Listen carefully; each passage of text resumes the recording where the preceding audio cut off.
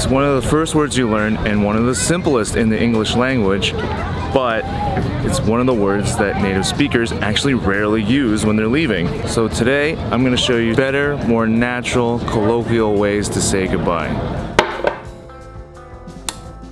Now, depending on who you're talking with and what the situation is, you're going to want to say goodbye in a different way. So the first term, and probably my favorite actually, is bounce. This phrase is this phrase is basically slang. It doesn't sound anything like goodbye. Typically younger people, when they're leaving, they'll say, let's bounce or let's get out of here. Yeah, let's bounce. Usually with your if you're with your friends, you can say I'm gonna bounce, which means I'm gonna leave right now, or basically goodbye. If you have other plans or you're feeling tired, you can just say something like uh, I think I'm gonna bounce. I'm kind of tired. Or even if even if somebody asks something like, "Where did your friend go?" Oh, he bounced a long time ago. Or you can use it like, "Let's leave." You can just say, uh, you can just say, all right, we're tired of this place, let's bounce. Just keep in mind though, this is a very casual phrase. You would only use it with some of your friends.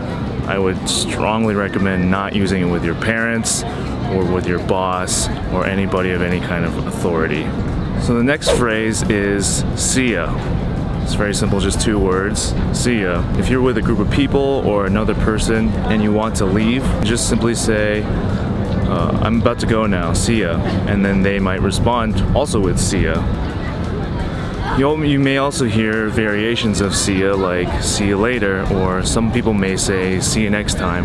They all mean the same thing and they all can be used interchangeably. But typically after doing something casual like going to see a movie or maybe if you met somebody for coffee and you're about to leave you can just say hey see ya or see you next time. Probably wouldn't use this I probably wouldn't use this after a date. It's a little too casual.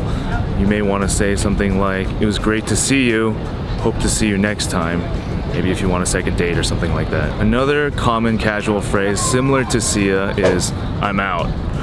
So it's, uh, it's a little bit more direct and assertive, but it basically means the same thing. You're just saying, I'm leaving, goodbye, I'm out. Same thing.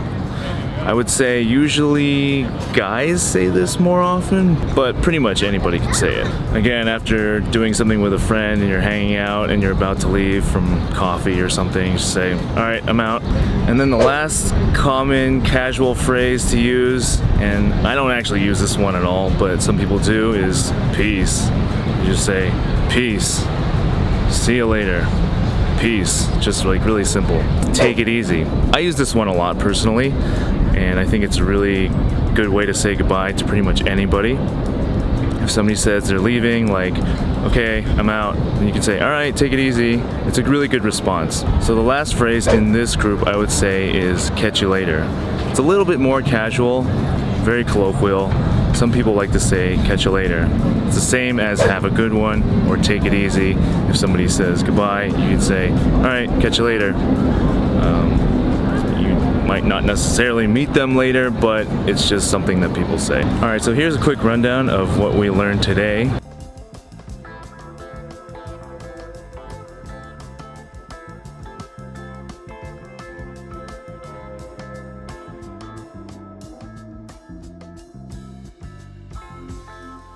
These um, these ways of saying goodbye are super common. I guarantee you're gonna hear them every day if you start talking to people.